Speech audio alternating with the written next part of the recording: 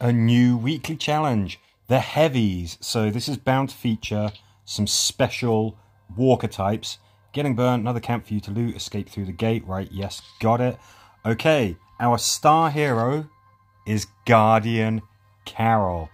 Fantastic hero.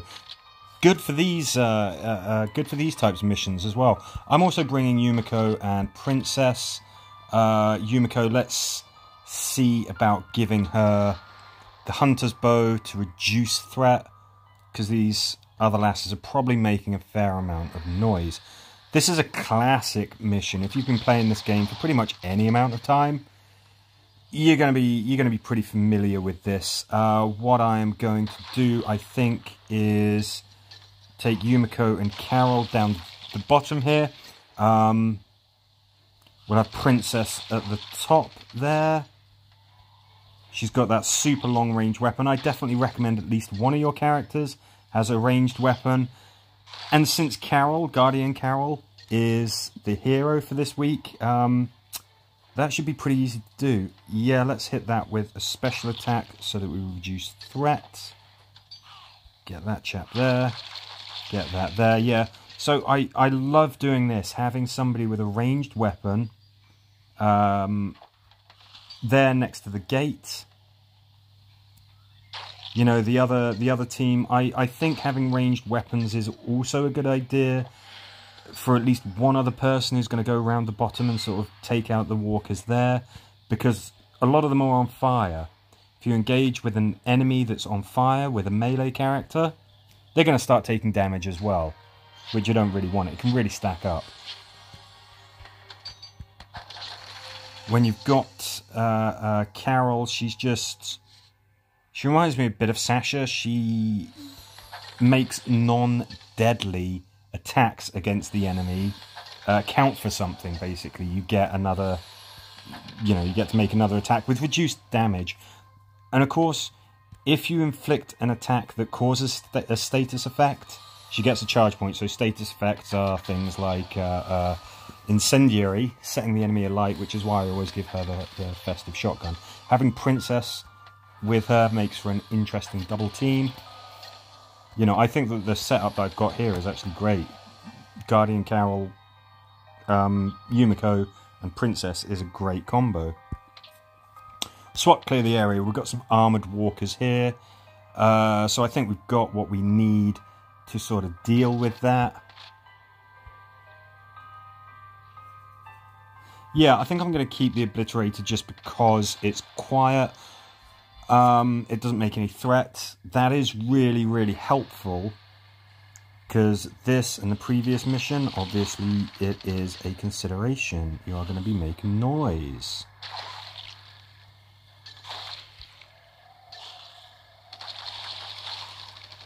Again, we have that slight conundrum whereby setting the enemy a light is a good idea because uh, it will chip away at their health, but it also creates a problem if you have um, melee characters. So you've got to make a decision. Definitely before you open this, have your characters positioned where you want them to be. Bear in mind that whoever is opening it, and unless it's uh, um, Glenn, is going to be inactive. And you just want to do it when you're not going to have uh, any more reinforcements coming in. So check that threat counter. Make sure that there's not going to be any more walkers sort of running in. Make sure that you have your other two characters charged up with, with charge attacks, ready to take out those armored walkers as they bust out of the back there, or at least incapacitate them. Whatever you have to sort of uh, uh, keep them at bay. Ooh, that is a nice piece of hunter armor. I like that.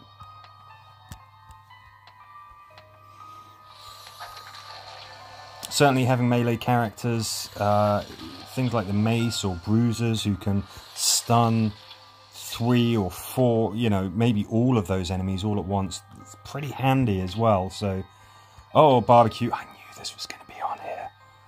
Yeah, I love this one. Let's, um, I, I would be remiss if I didn't bring the specialist. Uh, let's bring Megagi. Let's give her that. Yumiko, we don't need to worry about the threat counter because there is none. Let's have you toasting some enemies in in honor of the fact that this is called barbecue.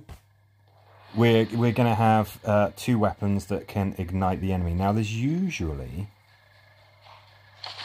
there is usually somebody up in the top left. There is not this time, I don't think. But be very very careful. There he is. There he is. Okay. Okay, watch out for that SOB. Um, he seems to be there more often than not. So that is definitely the first thing to look out for. The next is, I mean, this, it's a kill all walkers um, with a, a very limited number of very tough enemies. This is where you want to really think about isolating the enemies so that they're not going to flood you. Be very careful with your position. If you suddenly come face to face with one of them, you know it can it can stun you. It could really really do some damage. So let them sort of come to you. There's no time limit on this. There's no threat counter. You don't have to rush. You can be patient. Can make sure that you know where everything is before you start diving in. It's a great mission actually. Um, get a lot of points taking out unique walkers. So once you're you're starting to hit that difficulty limit, if if you really want to harvest some XP, make the use of that double XP that we've still got from that last um, sort of problem fix that they made from last week, and hit that mission, hit barbecue. You you know you'll you'll really rack up those those points. as quick mission. You know, not a challenge at all and you will get lots and lots of XP. Double Trouble, take down both of the Tough Walkers. Okay, well... Oh, I know this one, I know this one. Let's bring, uh, let's mix it up a little bit. Let's bring Mr. Mercer. So you're going to start at a bit of a distance from these, these targets. Uh, do I want a... Stuff it. What the heck? Come on, let's go nuts. What the hell?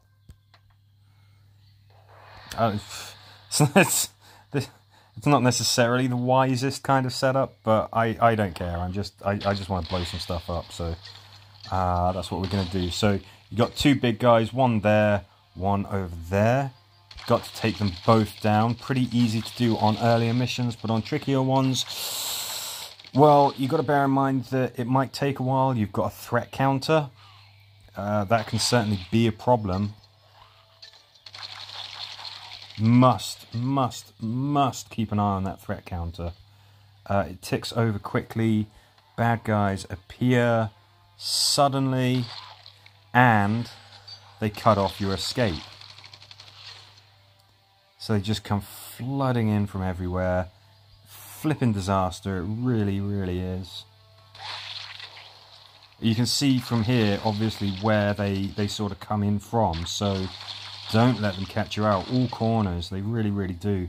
So instead of doing what I did, which was give Yumiko the biggest, noisiest uh, shooter weapon that you possibly can, you might want to think about doing things a little more stealthily and a little more quietly, especially when things get more difficult.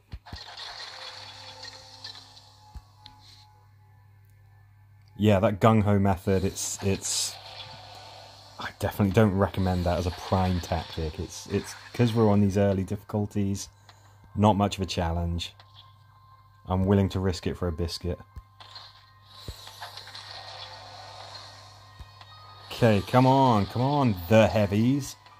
What else do you have for us? Armor compound, killer walkers. Okay, just... Screw it. Yeah, I'm keeping the pulverizer. Again, not the best setup, but kind of actually sort of not the worst either.